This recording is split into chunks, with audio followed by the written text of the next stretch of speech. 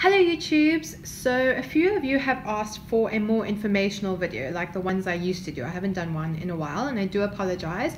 So today I am honoring your request and I am talking about how to become a marine biologist. You know I realized in one of my previous videos I talked about what a marine biologist does and what the job description entails, but I didn't really speak about how to become a marine biologist. And even though this is again quite a complicated topic, I am going to try and tackle it today and hopefully provide some useful information for you.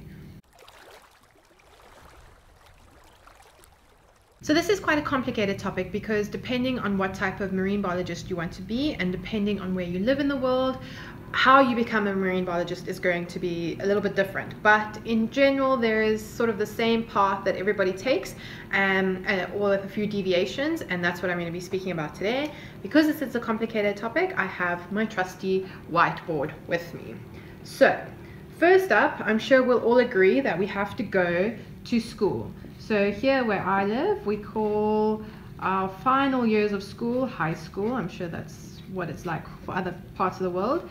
And when you're in high school, generally you'll have to take some kind of maths or some kind of science subject. You'll just double check what university you want to go to for what requirements you need. But generally maths, science, biology, those kinds of things.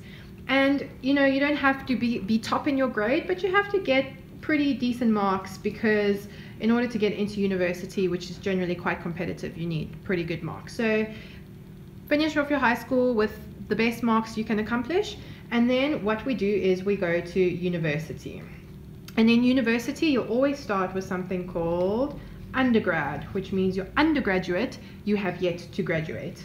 So in undergrad, it's pretty general, the types of courses that you do, but you'll major in some sort of marine biology, ecology, evolution, genetics, that kind of major. And this is generally, depending on where you live in the world, three to four years. Some, in some places, there's a fourth year built in as your honors year, but uh, where I live, it was three years. So I did three years of my undergrad. And then once that was done, I did just one year of honors, and that creates your fourth year. All right, so you have fourth year of undergrad. Then you move on to something called postgraduate studies. And in America, this is called grad school. Um, so now you've graduated with your degree and now you're going further on your studies. Again, this is different depending on where you are. I know in the States, you generally don't do a master's, and I think in Australia, you don't really have to do a master's either.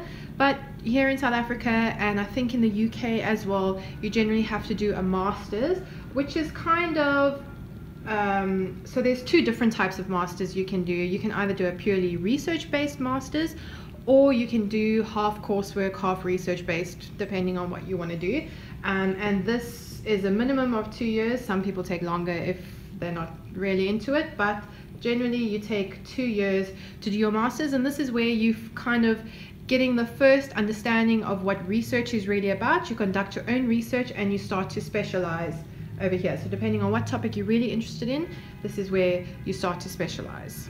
Okay, so this is where it gets complicated because this is where the serious deviations start to occur. So you've just completed your master's um, and now there are either one of two big sort of paths you can follow. Um, you can either go into something called academia, which I'll actually explain second, or you can go into something called industry.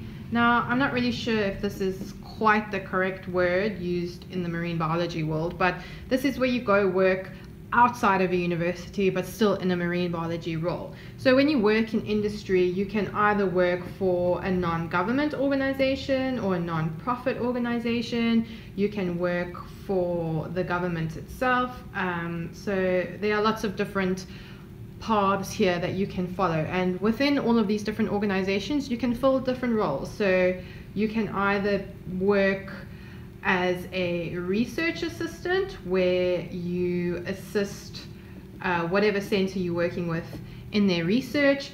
You can be a field coordinator where you assist with the field work for your institution that you're working with or you can be a data scientist where you specifically work on the data that the institute collects or you can be a volunteer coordinator where you coordinate volunteers. That's a bit easy, coordinator. So there are multiple opportunities for you to work outside of academia in what I kind of term industry.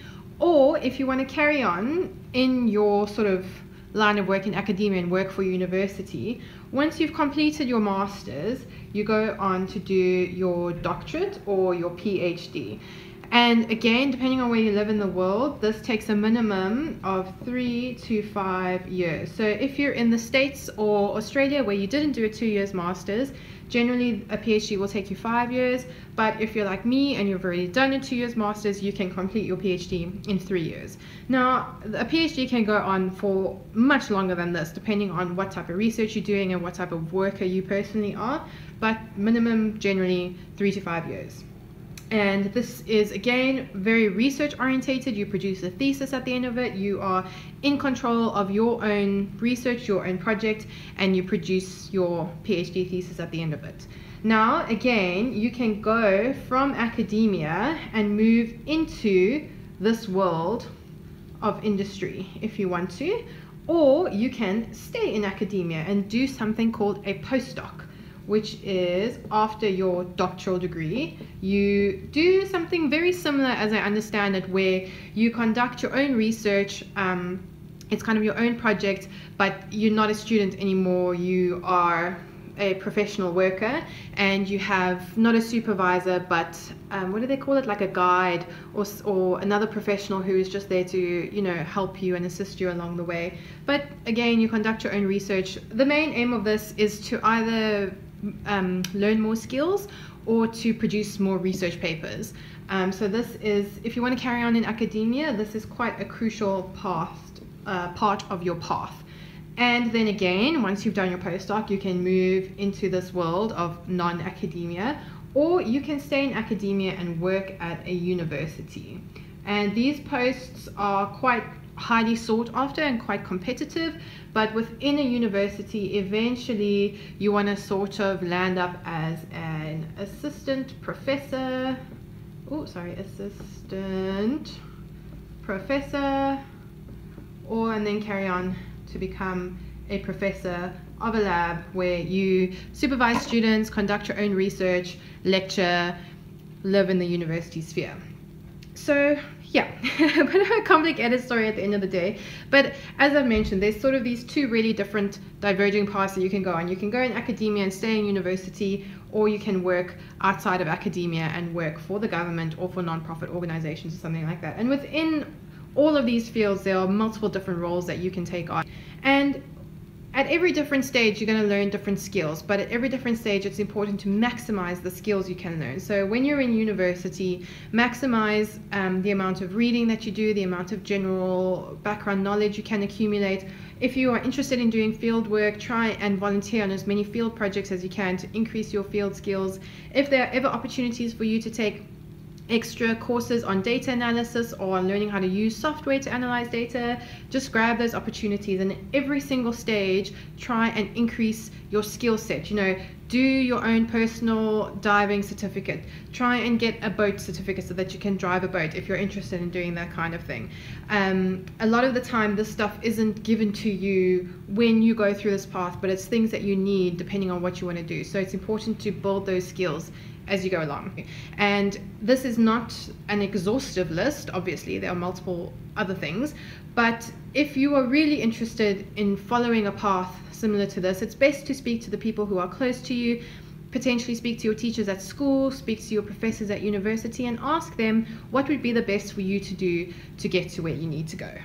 So I hope you found that helpful. As always, if you have any further questions or comments, please leave them down below and I will try to address them. Please like my video, subscribe to my channel. If there's anything else you want to learn about, just ask away. And until next time, I hope you all have a happy day.